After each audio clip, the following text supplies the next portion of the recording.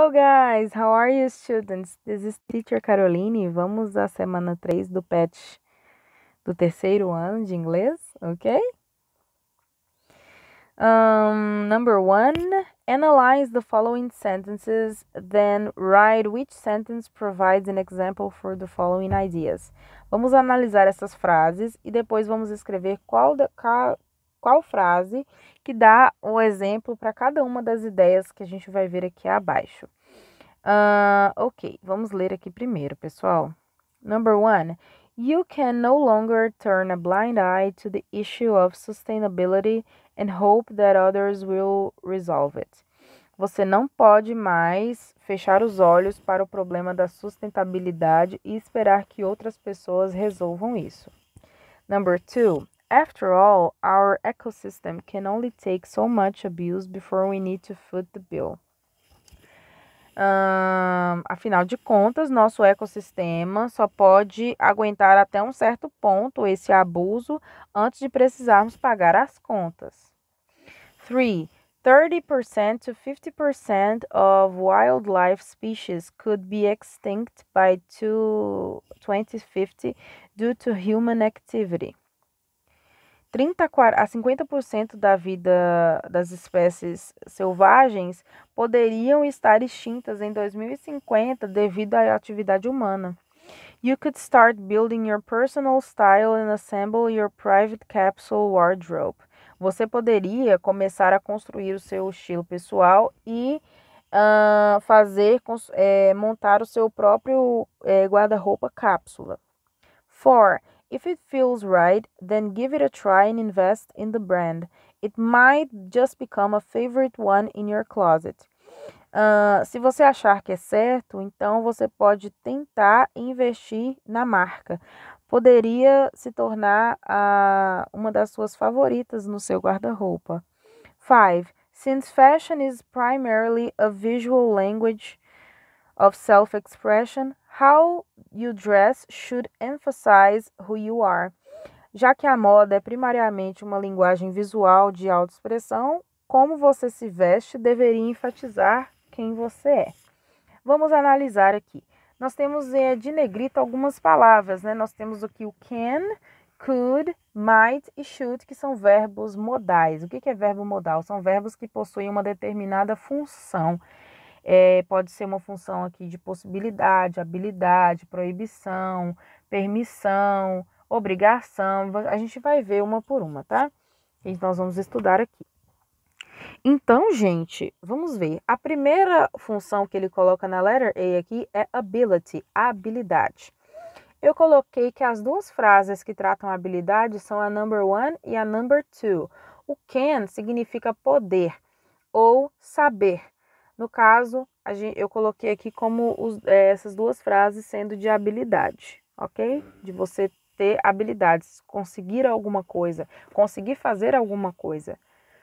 A letter B, advice probability, que é conselho probabilidade.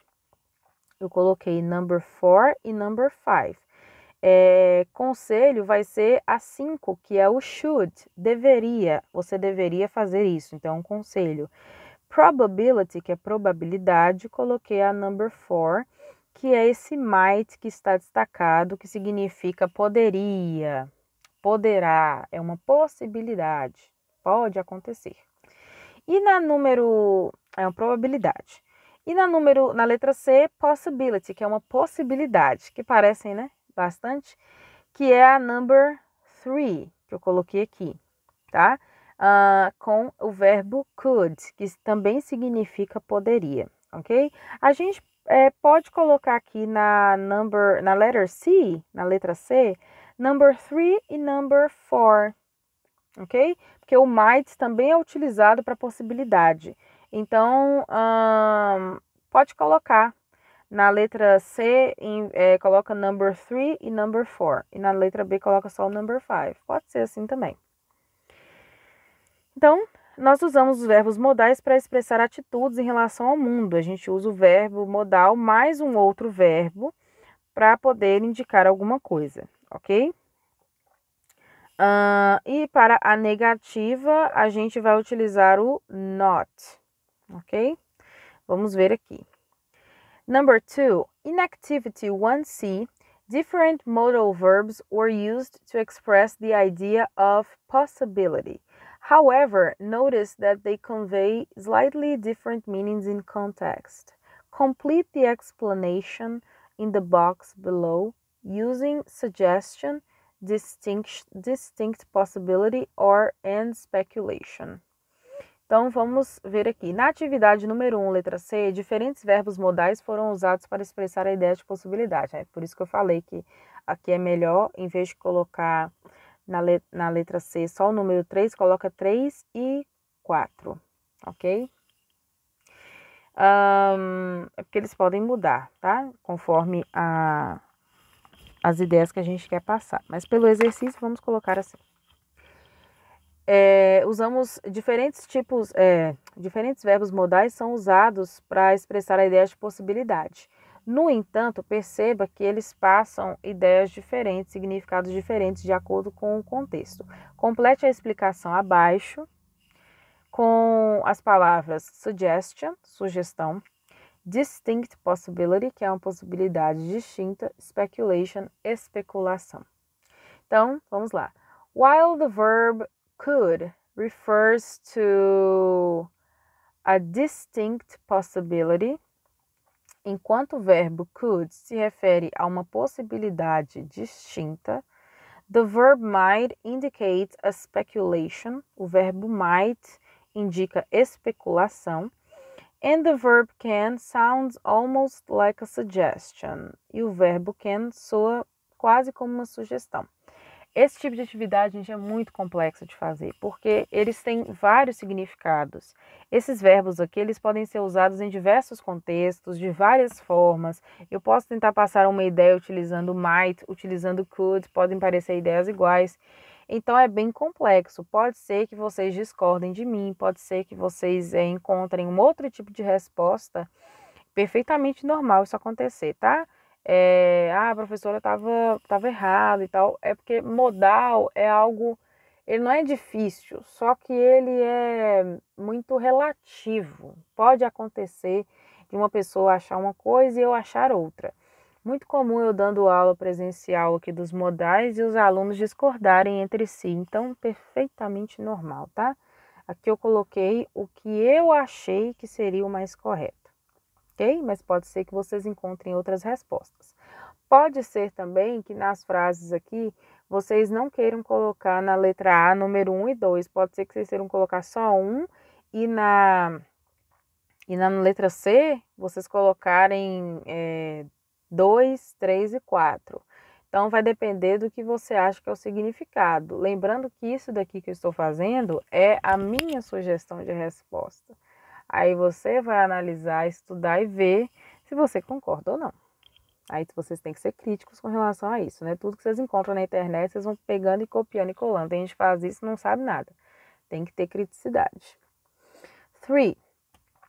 Complete the sentences from the article Slow Fashion Guide Everything You Need to Know with a modal verb from the box below. The modals have to express the ideas in parentheses, and the use of affirmative or negative forms need to make sense in the context. Então, complete as frases uh, do artigo Guia Slow Fashion, tudo que você precisa saber com um verbo modal da caixa baixa. Os modais devem expressar as ideias entre parênteses e o uso das formas negativas ou afirmativas precisam fazer sentido no contexto. Nós temos aqui can, que é poder ou saber, Can't, que é não poder ou não saber. Cannot, que é a mesma coisa do can't. Could, poderia, vamos usar três vezes. Might, que é poderia. Shouldn't, não deveria. Letra A. By 2030, half of the world's population could be living in areas where there isn't enough drinking water.